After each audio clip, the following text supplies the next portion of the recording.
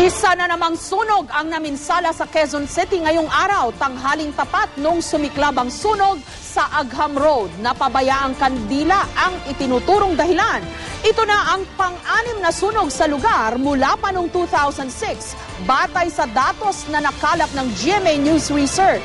Live mula sa Quezon City, may report si Mariz Umali. Mariz? Jessica, abot sa 3 milyong pisong halaga ng mga ari-arian ang natupo kaninang hapon dito sa Agham Road sa Quezon City. Sa lakas nga ng apoy at dahil gawa rin sa mga light materials, wala na halos natira sa mga tahanan ng humigit kumulang apat na raang pamilya rito. Sugatan si SFO2 Rio Francisco matapos mahulog sa kinatatayuang kawayan habang rumiresponde sa isa na namang sunog sa Agham Road, Quezon City.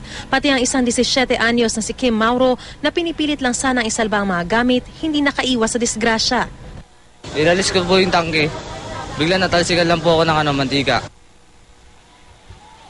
Kitang-kita sa kapal at itim ng usok kung gaano kalakas ang sunog na tumupok sa may isandaan at limampung bahay dito sa Agham Road kaninang bago magalas dos ng hapon.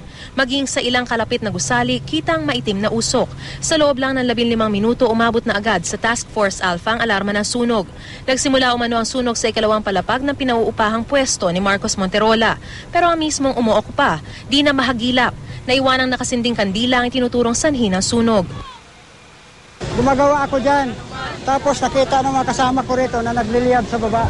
Ano ko, kasi nagkakandila sila ron eh. Naka? Nagkakandila. Sino? Yung naupahan doon. Ah, Hindi sila, hindi na kaya magbayad ng kuryente. Bagamat may istasyon ng bumbero sa tapat lang na nasusunog na compound, di raw naging madaling apulahin ang apoy.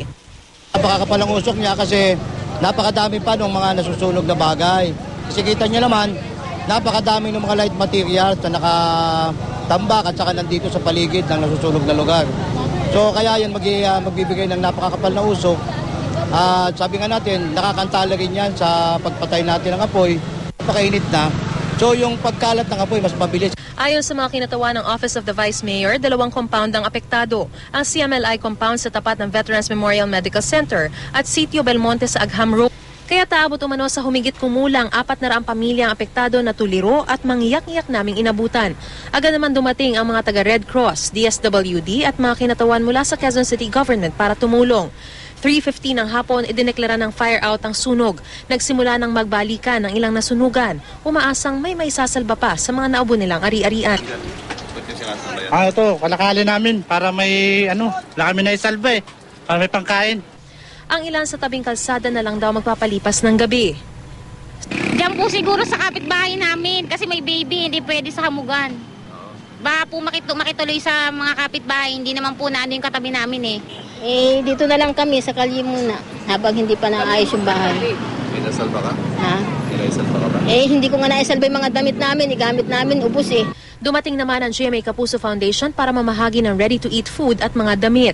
Sa datos na nakalap ng GMA News Research, hindi bababa sa 10 insidente ng sunog ang naitala sa Agham Road simula 2006. Pebrero ng nakaraang taon, halos 2,000 pamilya ang nawala ng tirahan sa magdamagang sunog na umabot sa general alarm.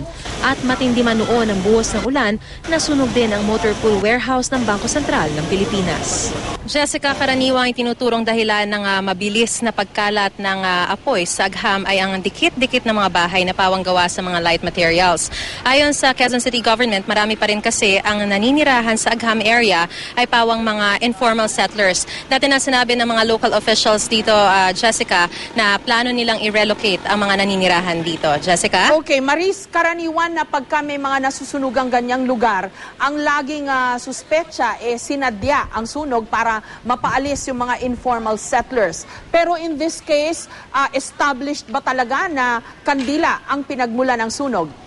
Jessica, lumalabas sa paunang investigasyon ng ah, fire marshals dito na ang ah, pinagmulan nga talaga ng sunog ay ang ah, naiwang nakasinding kandila at yan din ang lumalabas sa pahayag ng ilang mga nakasaksi ditong mga residente na nakita nga na may naiwanang ah, kandila doon sa ah, ikalawang palapag nga na yan ng ah, tahanan kung saan nagmula yung sunog. Pero hanggang sa kasalukuyan naman ay patuloy pa rin naman ang isinasagawang investigasyon ng mga fire marshals dito, Jessica. At ah, kanina, nung nagtanong tanong-tanong tayo dahil nga syempre natatanong-tanong na rin natin yung kung ah, sa tingin ba nila ay sinadya yan.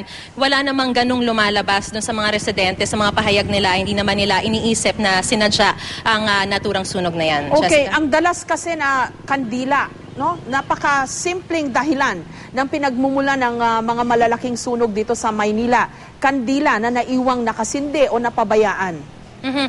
Tama ka dyan, Jessica. As a matter of fact, yan nga ang sinasabi ng mga fire marshals na sana pag-ibayuhin lalo yung pag-iingat dahil kadalasan naman ang nagiging sanhi lang talaga ng sunog ay yung kapabayaan. So, dito sa specific case na ito, nung tinanong natin kung bakit umagang-umaga ay may kandila, eh dahil daw medyo madilim dun sa area na yon at wala na rin silang ah, pambayad. Yung nakatira dun sa inuokupahang ah, area na yon, wala silang pambayad sa kuryente, kaya wala na talaga silang kuryente. Kaya naman nag, naggumagamit sila ng kandila, Okay, Jessica. tip sa ating mga kababayan, pagkakandila ang ah, sinindihan para gawing ah, ilaw, eh pwede nyo ho yan ilagay sa paso o yung medyo maluwag na container. Kaya para hindi basta-basta natutumba at ah, ah, pagka ano lang, ang ah, tumutulo lang, eh yung ah, natutunaw lang. Yung apoy eh hindi, ah, hindi delikadong matumba at ah, kumalat o ah, masunog yung mga nakatabi niyang papel o kurtina kung minsan eh, di ba? Tama, Jessica. At ah, kung hanggat uh, maaari nga sana, ay wag din siya ilalagay dun sa mga lugar, halimbawa, malapit sa may kortina o yung mga sinasabi mong mga papel o mga iba pang mga light materials na talagang madaling masunog. Okay, ulitin po namin, ilagay niyo ho yung kandila sa malaking container, garapon o lata na malaki para hindi laging ah, nanganganib na matumba. Maraming salamat, Mariz Umali.